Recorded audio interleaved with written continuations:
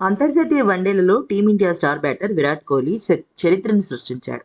అయితే వన్డే ప్రపంచ కప్ రెండు వేల ఇరవై మూడులో భాగంగా ఇడెన్ గార్డెన్స్ వేదికగా దక్షిణాఫ్రికాతో మ్యాచ్లో విరాట్ కోహ్లీ తన నలభై తొమ్మిదవ సెంచరీని అందుకున్నాడు.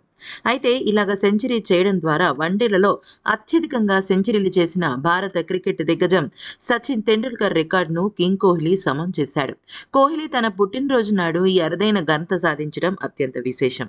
నూట పంతొమ్మిది బంతుల్లో పది ఫోర్లతో కోహ్లీ చెలరేగిపోయి సెంచరీ మార్కును అందుకున్నాడు.